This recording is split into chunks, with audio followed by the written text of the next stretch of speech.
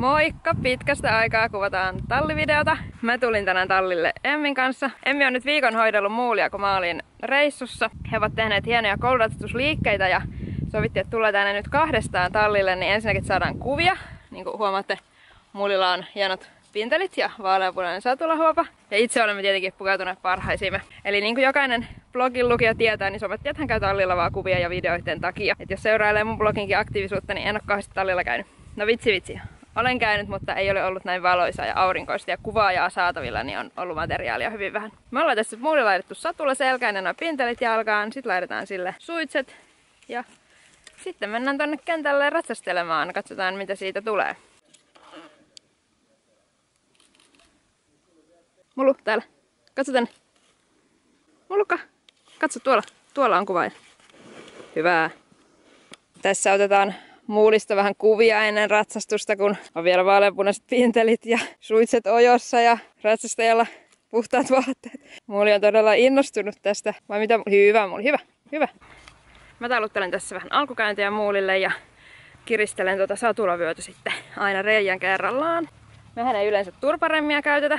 Nyt on vähän kuin se kuuluu tähän tyyliin. Mutta tää on niinku tosi löysällä, mistä sen näkisi. Ehkä sieltä, että mahtuu niinku monta sormea sinne väliin. Eli tää on vähän niinku koristeena tässä meillä vaan. Emmi on tykännyt mennä muulilla täällä Vintek koulusatulalla. Tää on siis joku Vintek Lite.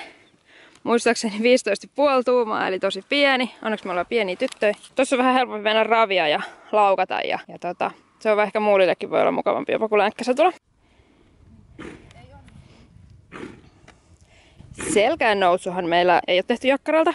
Nyt kun tuo koulusatula, niin siihen on vähän kivempi mennä tosta. Ei sitten pyörähän, niin tehdään sitä vähän tälle varmistellen leivällä niin paljon, kun se ei todellakaan tykkää jakkaroista vieressään ja pikkasen jännittyneenä on. Mutta kaikessa rauhassa.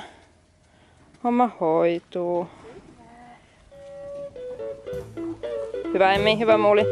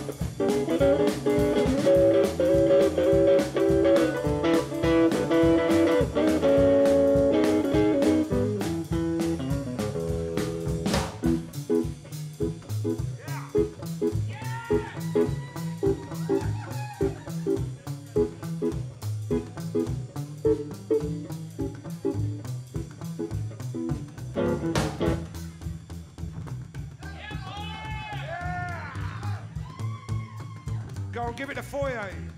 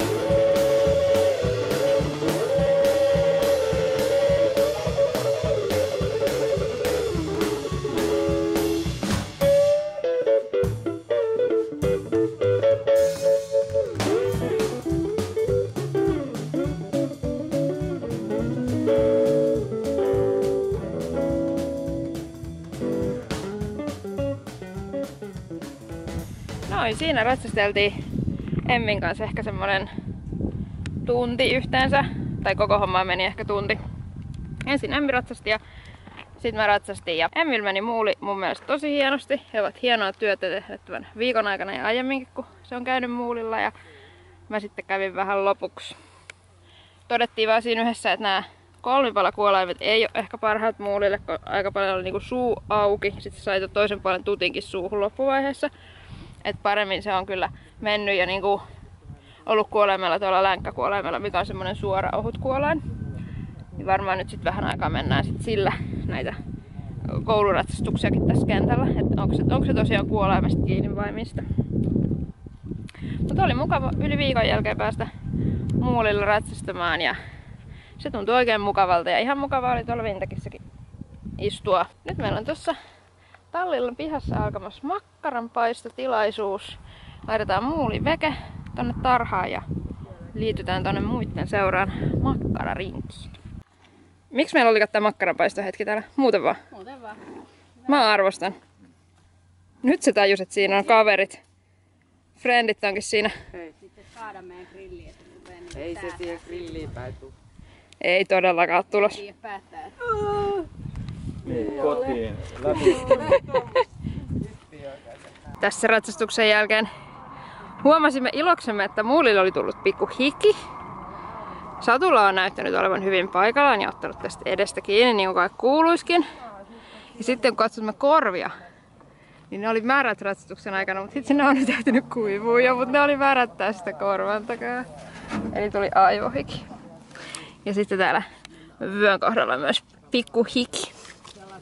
Hienoa toimintaa.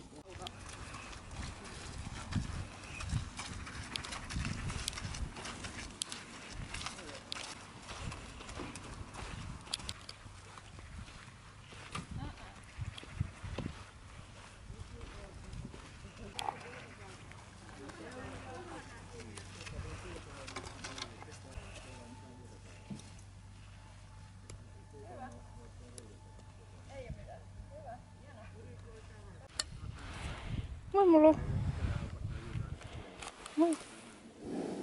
Joo. Siinä oli meidän tämmönen ratsastus dressakepäivä ja pitkästä aikaa saatiin ratsastusvideoita ja kuvia. Edelliset on tuolta jossain syy, syyskuulta tai lokakuulta. En tiedä näkyykö niissä edistystä vai ei, mutta hauska kuitenkin vertailla, että onko jotain muutosta tapahtunut. Näihin kuviin ja näihin tunnelmiin. Hei hei!